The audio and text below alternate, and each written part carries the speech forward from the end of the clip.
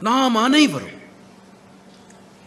நற்பண்புகள் இயல்புகள் மற்றும் அமைப்பு ரீதியாக ஜனநாயகத்திடம் அர்ப்பணிப்பு உணர்வு உடையவர்கள்.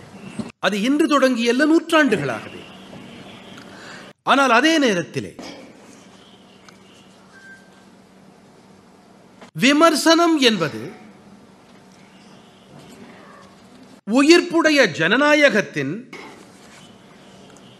உயிர்ப்பு நிறை ஜனநாயகத்தின் ஆபரணமாகும். ஆனால் கண்மூடித்தன விரோதம் இது ஜனநாயகத்திற்கு இழைக்கும் அவமதிப்பு. அனைவரின் முயற்சிகள் என்ற இந்த உணர்வாலே பாரதம் இதுவரை அடைந்தது அனைத்தையும் திறந்த மனத்தோடு அவற்றை ஒருவேளை ஏற்றுக்கொண்டிருந்தால் நன்றாக இருந்திருக்கும். அவற்றை வரவேற்றிருந்திருக்கலாம். அதன் பெருமையை பரப்பியிருக்கலாம். கடந்த ஈராண்டுகளிலே நூறு ஆண்டுகளின் மிகப்பெரிய உலக பெருந்தொற்று என்ற சங்கடத்தை மனித சமுதாயம் முழுக்கவுமே அனுபவித்துக் கொண்டிருக்கிறது. யாரெல்லாம் பாரத நாட்டின் கடந்த காலத்தை கொண்டே பாரதத்தை புரிந்து கொள்ள முயன்றார்களோ? அவர்களுக்கெல்லாம் சந்தேகம் இருந்தது. இத்தனை பெரிய தேசம் இத்தனை பெரிய ஜனத்தொகை இத்தனை பன்முகத்தன்மை இந்த பழக்கம் இந்த இயல்பு. ஒருவேளை இந்த பாரதத்தால் இத்தனை பெரிய போராட்டத்தை எதிர்கொள்ள முடியாமல் போகலாம். பாரதம் தன்னை தானே காத்துக்கொள்ள முடியாது. இதுவே அவர்கள் எண்ணம். ஆனால் இன்று நிலைமை என்ன? இந்தியாவிலே தயாரிப்போம் என்படி கோவிட் தடுப்பூசி உலகின் அதிக வல்லமையுடையதாக இருக்கிறது. பாரதம் இன்று நூறு சதவிகிதம் முதல் தவணை என்ற இந்த இலக்கை கிட்டத்தட்ட நெருங்கியே விட்டது. மேலும் கிட்டத்தட்ட எண்பது சதவிகிதம் இரண்டாவது தவணை என்ற நிலையையும் எட்டிவிட்டது.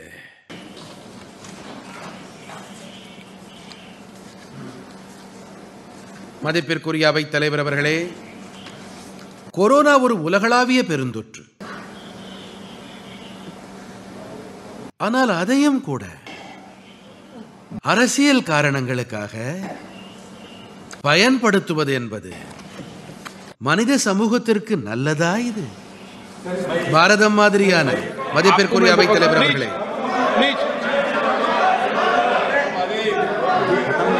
மதிப்பிற்குரிய அவை தலைவர் அவர்களே.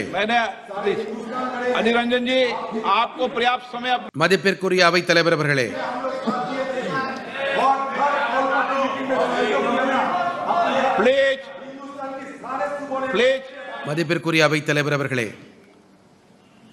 நான் யாருடைய பெயரையும் குறிப்பிடவில்லை.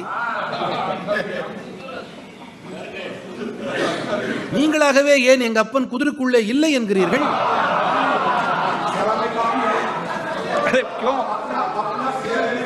ஆனால் நீங்கள் இப்போது அடையாளப்படுத்திக் கொள்வதால் நான் பெயரை சொல்லியே உரைக்க விரும்புகிறேன். தானாகவே அடையாளப்படுத்திக் கொண்டிருக்கிறீர்கள். ஆகையால் நான் பெயரை சொல்லியே உரைக்க விரும்புகிறேன். இந்த கொரோனா காலத்திலே காங்கிரஸ் வரம்புகளை மீறி விட்டது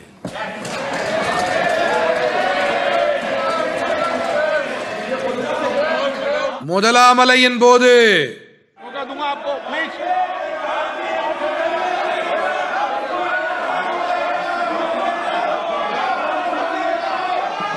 देखिए मान्य सदस्य प्लीज बैठिए ये तरीका ठीक नहीं है आपको मैंने पर्याप्त please Get here. Please, please, please, please, please. மதிப்பிற்குரிய அவை தலைவர் அவர்களே வரம்பை மீறினார்கள் என்று மட்டும்தான் சொன்னேன். முதலாமலையின் போது தேசத்திலே பொது ஊரடங்கை பின்பற்றி நடந்திருக்க வேண்டும். உலக சுகாதார நிறுவனம் உலக நாடுகளுக்கு ஆலோசனை வழங்கிய போது அனைத்து வல்லுநர்களும் கூறினார்கள் யார் எங்கே இருக்கின்றீர்களோ அங்கேயே இருங்கள். உலகம் முழுவதும் இந்த செய்தி கொண்டு சேர்க்கப்பட்டது. ஒரு மனிதன் ஓரிடத்திற்கு சென்றான் என்றால் அவனுக்கு கொரோனா பீடித்திருந்தால் அவனால் கொரோனா பரவக்கூடும். அனைவரும் காங்கிரசார் அனைவரும் என்ன செய்தார்கள்? மும்பை மாநகரின் ரயில்வே நிலையத்தில் நின்று கொண்டு மும்பையை விட்டு செல்வோரை ஊக்கப்படுத்தக்கூடிய வகையிலே மும்பையில் தொழிலாளர்களுக்கு இலவச பயணச்சீட்டு எடுத்துக் கொடுக்கப்பட்டது. மக்கள் பயணிக்க ஊக்கப்படுத்தப்பட்டார்கள். செல்லுங்கள். மகாராஷ்டிரத்தினுடைய மகாராஷ்டிரத்திலே இங்கே இருக்கிற சுமை. சற்றேனும் குறையட்டும். நன்றாக செல்லுங்கள். நீங்கள் உத்தரப்பிரதேசம் செல்லுங்கள். நீங்கள் பீகார் செல்லுங்கள். செல்லுங்கள். அங்கே கொரோனாவை பரப்புங்கள். நீங்கள் நீங்கள் மிகப்பெரிய பாவச் செயலை செய்திருக்கிறீர்கள். பெரும் குழப்பத்திற்கான சூழலை ஏற்படுத்தினீர்கள். நீங்கள் நமது தொழிலாளர் சகோதர சகோதரிகளை ஏராளமான பிரச்சனைகளில் தள்ளிவிட்டீர்கள். மதிப்பிற்குரிய அவை தலைவர் அவர்களே அந்த சமயத்திலே தில்லியில் எப்படிப்பட்ட அரசு இருந்தது என்றால் தில்லியில் எப்படிப்பட்ட அரசு இருந்தது என்றால் இப்போதும் இருக்கிறது. இந்த அரசாங்கமோ ஜீப்பிலே மைக்கை கட்டிக்கொண்டு குடிசை வீடுகள் இருக்கும் பகுதிகளுக்காக சென்று மக்களிடம் சங்கடம் பயங்கரமானது. விரைவாய் வெளியேறுங்கள். கிராமங்கள் வீடுகளுக்கு செல்லுங்கள் என்றார்கள். தில்லியிலிருந்து வெளியே செல்ல இருந்த பேருந்துகள் பாதி வழியிலேயே அவர்களை இறக்கிவிட்டன. தொழிலாளர்களை மிகப்பெரிய சங்கடத்தில் சிக்க வைத்தார்கள்.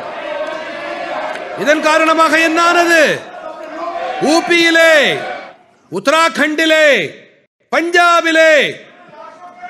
கொரோனாவின் தாக்கம் அதிகம் இல்லாதிருந்தது. அதிக வேகமில்லாதிருந்தது இவர்களின் பாவச் செயல் காரணமாக. அங்கேயும் அது தன்னுடைய வெறியாட்டத்தை தொடக்கியது. மதிப்பிற்குரிய அவைத்தலைவர் அவர்களே என்ன மாதிரியான அரசியல் இது? மனித சமூகத்தின் இத்தனை பெரிய சங்கட காலத்திலே இது என்ன மாதிரியான அரசியல்? இந்த கட்சி அரசியலை எத்தனை காலத்திற்கு தொடரப் போகிறீர்கள்? மதிப்பிற்குரிய அவைத்தலைவர் அவர்களே காங்கிரசின் இந்த வழிமுறை காரணமாக நான் மட்டுமல்ல தேசம் முழுவதும் திகைத்து போயிருக்கிறது.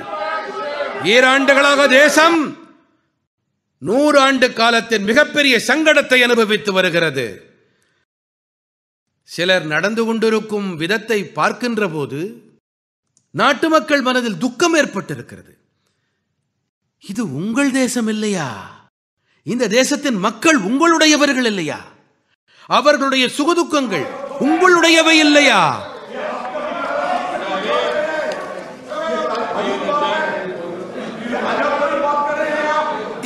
இத்தனை பெரிய சங்கடம் வந்திருக்கிறது.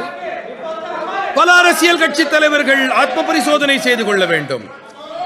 பல அரசியல் கட்சி தலைவர்கள் மக்களினுடைய அபிமானமான தலைவர்களாக தங்களை கருதி கொள்கிறார்கள். அவர்கள் மக்களிடம் வேண்டுகோள் விடுத்திருந்தால் கேட்டுக்கொண்டிருந்தால் கொரோனா என்ற சங்கடம் உலகளாவிய பெருந்தொற்று நீங்கள் முகக்கவசங்களை அணியுங்கள் கைகளை சுத்தம் செய்யுங்கள் ஆறடி இடைவெளி கடைபிடியுங்கள். சொல்லுங்கள் எத்தனை தலைவர்கள்? மீண்டும் மீண்டும். நாட்டு மக்களிடம் கூறியிருந்தால் இதனால் பிஜேபி அரசுக்கு என்ன ஆதாயம் ஏற்பட்டிருக்கும்? இதனால் மோதிக்கு என்ன ஆதாயம் ஏற்பட்டிருக்கும்?